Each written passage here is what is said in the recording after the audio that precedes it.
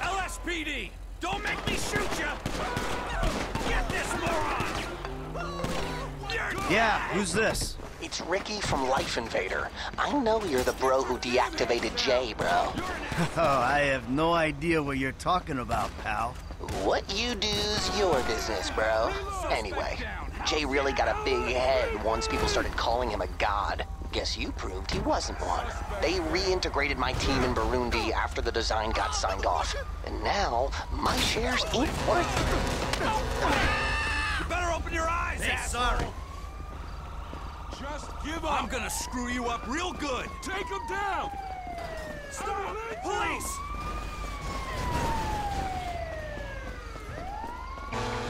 Die! Get this asshole! back down, bitch! Police! Stop!